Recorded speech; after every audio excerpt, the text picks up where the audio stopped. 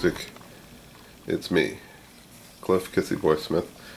Uh, finally shooting another video. I've been kind of working with, working on this one over the last, I believe, month or two or whatever since I finished that uh, Getaway Impala. Um, I haven't really been posting anything uh, on YouTube. I've been doing mostly Instagram. It's, uh, it's kind of easy easier than uh, having to edit a video. You know, just kind of take pictures as my progress goes along and just post it to Instagram and uh, and Facebook. I always do a, an album that's dedicated to. Well, most of the time I do an album that's dedicated to uh, whatever I'm building at any given time. But uh, this has been a project that I've been working on. I was excited when I found that they were they were releasing this truck, man. Uh, and then I watched the HPI guy, uh, Chris's video, man. And uh, I don't know, watching his videos is responsible for me spending a lot of money over the last last few months because pretty much everything he's put on there is like, oh man, I gotta have that. So uh, this was the was the big deal though. This is the one out of all the ones I saw in review, uh, aside from the Cadillac, that I really, really, really like super duper wanted. But uh, those of you that follow me on Instagram, you've already seen most of what's going on. I got it to 99.9% done, like officially last night. There's only a couple more things that need to be done, which you'll probably see in the video. but if you don't see them, I'm probably not going to point it out to you. you can leave it in the comments below if you see anything that's missing at that point. But um, I do appreciate you guys watching all my videos and everything. And if you, uh, let me know how you feel about this truck. But uh, without delaying any further, making the video any longer and making you listen to my droning on voice. Uh, just go ahead and get that truck in front of you. Let you know. Let, let me know what you think.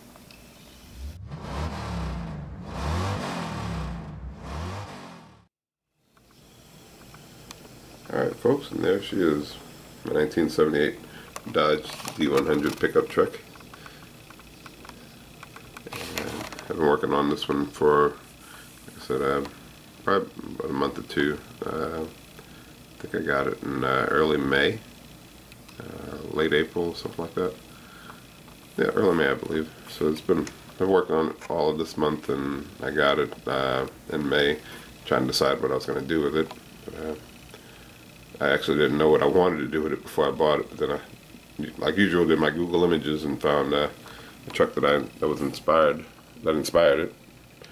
And as you can see, it came with a little mini bike here. I was excited when I found it. This thing was coming out. So, um, what have we done to it? This is actually my um, third paint job that's completely airbrushed. I actually custom mix the paint and everything. Uh, I'll put up a slideshow at the end of this whole video and just uh, that'll show all the pictures of uh, what I went through to get get it to where it is now. And it's not even 100% done now. It's just uh, just a couple little tiny things need to be done that uh, you'll probably see when I start pulling things apart, but nothing major. I do uh, plan on bringing this to a show next month, and it's going to be in Spring, Texas, uh, the Houston Automotive Society, Houston Automotive Modeler Society, or HAMS show, uh, Saturday, July 20th, uh, 2019. So uh, if you guys are around in the area, shoot, come on by and see your boy Kissy Boy Smith. Yeah, come see little sloppy bills that I put together in person, whatever I decide to bring with me. But uh, this video shouldn't be too long because I'm just going to go over what I what I've done to it and then put up a slideshow, I guess, pretty much. Uh, it's not really anything to write home about, but I think it's pretty cool. I mean, I, I, really wanted this really bad when I found it was coming out, and then when I saw that video of a uh, HPI guy building his as a, a ratty lawn lawn keeper's truck, I had to I had to have it. But uh, what has been done to it? Um, the kit itself actually sits pretty low. I mean, it's not a high high riding truck, but uh, the front seemed to be when I was mocking up that it might have sat higher than the back, so I didn't want that nose high stance on it. So I took the suspension and uh, kind of notched it into the frame, sunk the uh, the, the control arms and everything further up into the body, so it brought the the, uh, the front end of the truck down a little bit lower. And uh, and um, as far as the motor goes, I didn't really dig the motor too much, so I had to go in and get me something a little uh, a little more detailed. I was gonna go with the Hemi, but mm, I was like, well, I really don't want to put that in here. I already did one Hemi car, and I don't know. I just felt like a 440 would be better. And the hood actually is not cooperating at the moment for me to open it up, so I, I will open it by the end of the video and, show it to you.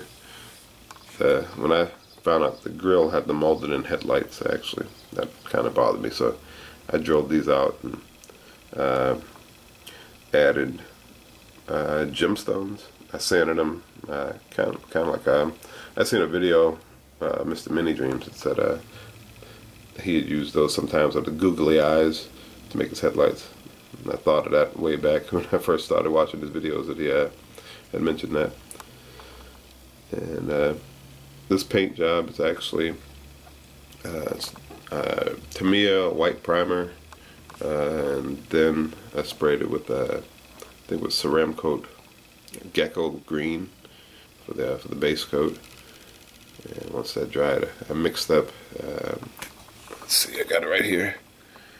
Uh, Wicked Colors Pearl Lime Green, and to darken it up, I added uh, Festive Green.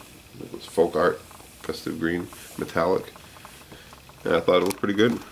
And then once it dried, I looked at it and it was just too much doggone green. so I said to my wife, I was like, well, what do you think of it? Is it, is it too much green? She's like, oh yeah. I was like, what do you think if, if I put a stripe on it? It's like, that would be really cool. So I don't want to go crazy with the stripes, so she actually helped me with this. She went and uh, masked off the uh, the two stripes there, so it'll be even because she's a lot more uh, talented when it comes to symmetry. You know, I can make one side look really good, but then the other side might look good, but it's not going to look the same as the other side. So she's responsible for uh, for getting those lines straight for me. So I, I thank you, dear wife. Appreciate it. And then once I put those on there, I thought to myself, huh the stripes alone don't look that great. And I looked at the decal sheet and I saw the custom 100. I put that decal on along with the B here from the uh, the Dart kit. And I think it looks pretty good, in my opinion. Okay, so that's what I paint wise, and then I, I just mixed up uh, Createx clear and, and just polished it to get get to shine. It's not like a super show winning paint job or anything like that, but I think it looks pretty good.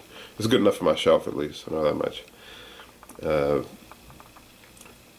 uh, like I said, I'll actually, hopefully I do another part of the video I'll just show the uh, the engine. Which, uh, it's not 100% done, but it's it's done enough to display it for the moment. By the time the show comes around, I'll have everything else that needs to be done to that.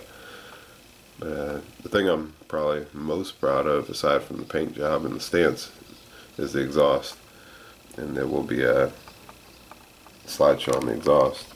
But uh, you can see it there I created another full exhaust from the headers all the way back to the, uh, the tailpipes including a set of my first reel.